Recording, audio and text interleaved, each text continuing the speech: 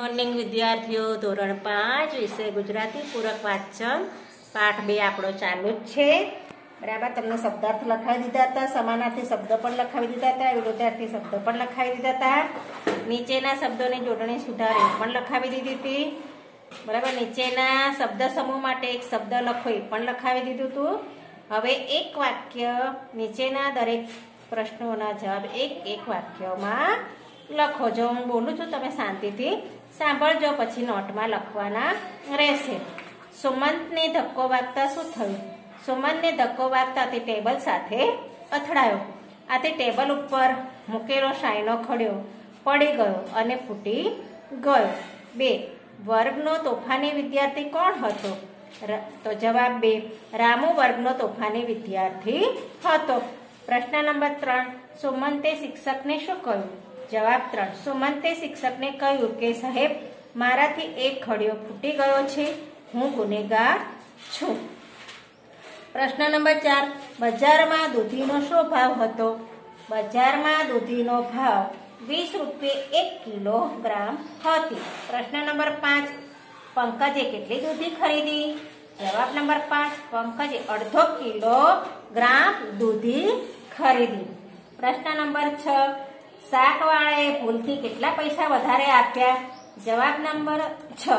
શાકવાળાએ ભૂલથી પાંચ રૂપિયા વધારે આપ્યા. પંકજે વધારા પૈસાનું શું કર્યું? વધારે પૈસા હતા, એનું શું કર્યું?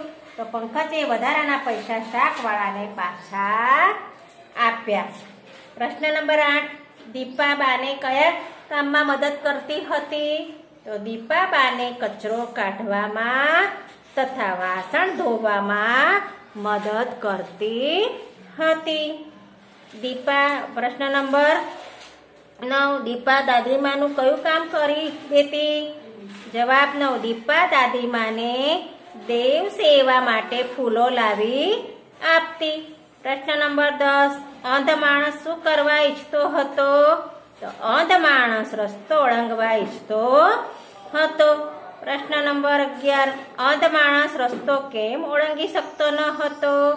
તો રસ્તા ઉપર ઘોડાગાડી અને મોટરની ધમાલ હોવાથી અંધ માણસ રસ્તો ઓળંગી શકતો ન હતો. પ્રશ્ન નંબર બે. અંધ માણસને રસ્તો ઓળંગવામાં કોણે મદદ કરી?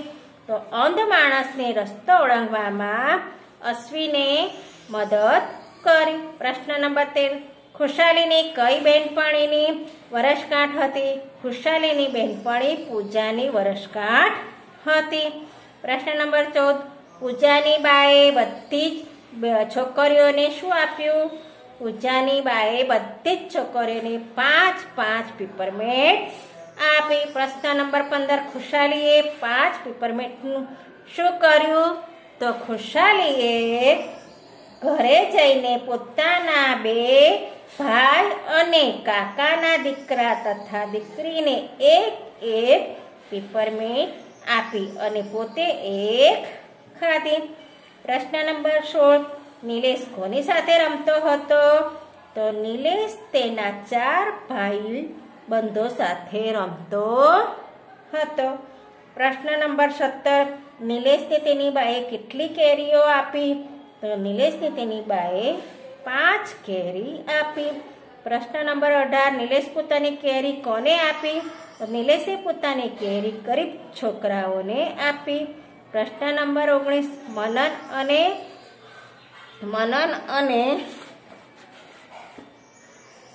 અંગતની શાળામાં શાનો કાર્યક્રમ હતો. મનન અને અંગતની શાળામાં રમત ગમતનો કાર્યક્રમ હતો. પ્રશ્ન નંબર વીસ, એકાએક કોને તાવ આવ્યો? અંગતને એકાએક તાવ આવ્યો. પ્રશ્ન નંબર એકવીસ, પપ્પાએ અંગતને કાર્યક્રમ જોવા જવાની ના પાડતા મન, મનનને શું થયું? શું, મનને શું કર્યું? પપ્પાએ અંગતને કાર્યક્રમ જોવાની ના પાડતા મનન પણ કાર્યક્રમ જોવાનો ગયો. અને તેણે અંગત પાસે બેસી એને નાની નાની વાતો વાંચી સંભળાવી. વાર્તાઓ વાંચીને સંભળાવી. આવી ગયો ખ્યાલ? ચલો, તો આ ગુજરાતીની નોટમાં લખવાનું રહેશે. જે વિદ્યાર્થીઓ લખી નાખ્યા છે વિદ્યાર્થીઓએ ઘરકામના ચોપડામાં લખવાનું રહેશે. Thank you